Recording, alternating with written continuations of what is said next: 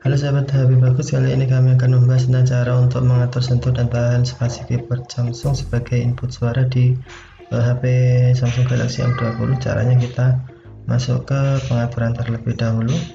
Usah bila notifikasi ke bawah panel panel notifikasi ke bawah untuk menuju ke pengaturan cepat. Setelah itu pilih pada ikon pengaturan.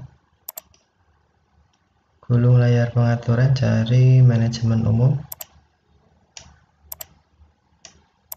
lalu setelah ketemu manajemen umum kita ketuk pilih bahasa dan input. Lalu ketuk keyboard pada layar.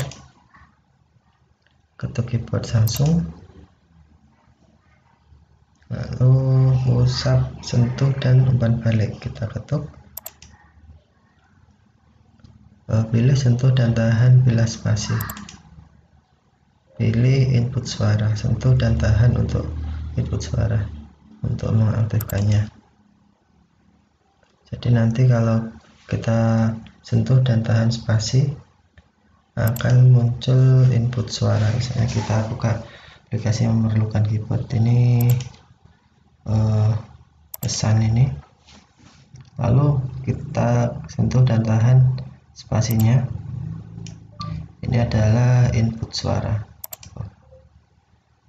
Ini adalah input suara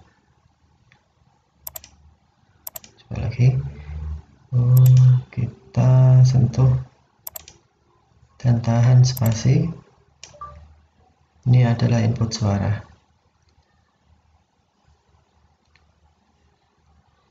Oke.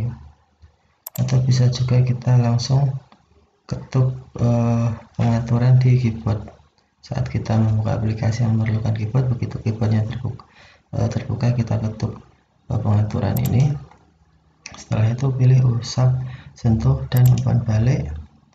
Pilih sentuh input dan tahan eh, sentuh dan tahan bila spasi pilih input suara.